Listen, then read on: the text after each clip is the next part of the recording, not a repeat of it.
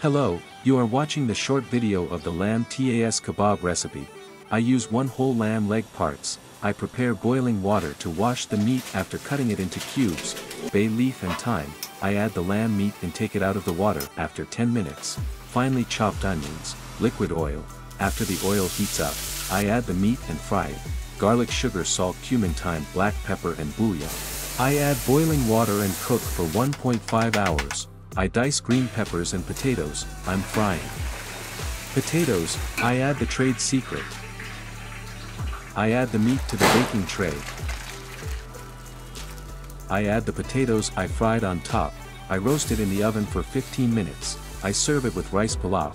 For more detailed descriptions of the videos, visit Chef Salim YouTube channel.